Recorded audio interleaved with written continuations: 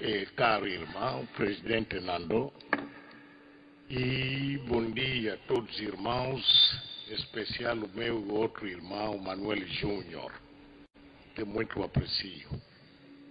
Eu estou aqui sem saber onde estou. Realmente, se esse orçamento que estamos a aprovar destina-se a quê? Porque tudo que nós aprovamos aqui, se não beneficiar o povo, aquele indígena, para mim não serve. Meu irmão Nando, o povo tem fome, o povo está isolado. O povo não é esse macutancondo com fato e gravata que estamos aqui, até vergonhoso. Todas as comunas rurais de Angola, repito, comunas rurais, transformaram-se em ilhas, não têm acesso, estão isolados. Digo que não beneficia isto porque nem comércio tem, nem cantina dos mamadus tem, nem o peixe chega lá, nem o sal chega. O povo só conta com a sua mandioca, quizaca, sua fuba de bombom de milho, se houver. E mesmo a mandioca está a apodrecer, tem uma doença qualquer que está a afetar esses produtos.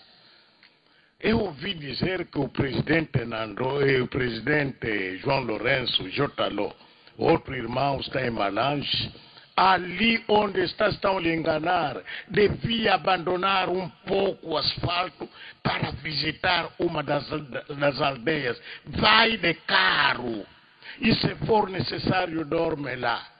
Ele vai visitar hoje empreendimento, não sei o que, tem biocom em Malange para produzir açúcar. Chega às aldeias de Malange, nem sabe que é isto açúcar, o que é isto biocom. Não, aquilo não serve para o povo, o povo não tem nada, nada, chega lá, nada, presidente, nem acesso tem. Ultimamente houve óbito no Noki para ser enterrado no Lufico, do Noki a Lufico, umas 30 ou 40, 60 quilômetros, o óbito fez dois dias a caminho e não chegou ao destino, foi enterrado em Banzaquiunga. Outro óbito que saiu de Luanda, chegou ao Tomboco, entrou para ir a, a Umvuma, do, umas 30 quilômetros, quanto? 12 dias. É só para ver que é isto. Durante o tempo de chuva, os rios todos inundados, cheios, mas o povo sem água para beber, e no tempo seco não há pontes, não há nada. E mesmo nas cidades, esse nome, a cidade a parte do asfalto e parte do povo, tipo apartheid vai nesses bairros periféricos, não tem nada, absolutamente nada. Os hospitais não têm remédio. Encontrei uma prima doente, vai ao hospital, a água com a volua casingira, quando chega lá, demora tanto, e no fim receita, não tem dinheiro, não tem nada, nada, nada os nossos hospitais.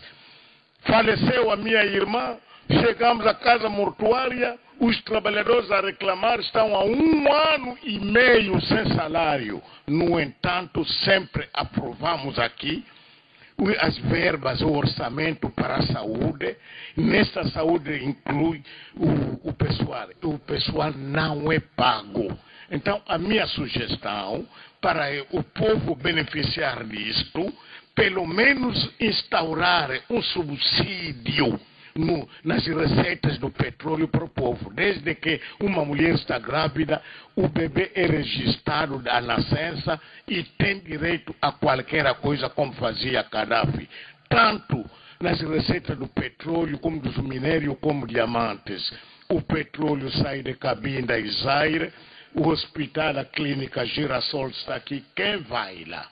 Eu até Macutancondo vou a hospitais públicos o diamante está nas lundas, o hospital, a clínica da Indiama em Ruanda. O povo não está a beneficiar disso. Por isso, esse orçamento é para nós os assimilados, é para o asfalto, não é para o povo. O povo está abandonado, o povo é ignorado, tudo que estamos a fazer só vale para nós, não vale para o povo angolano que está totalmente abandonado e na miséria. Muito obrigado.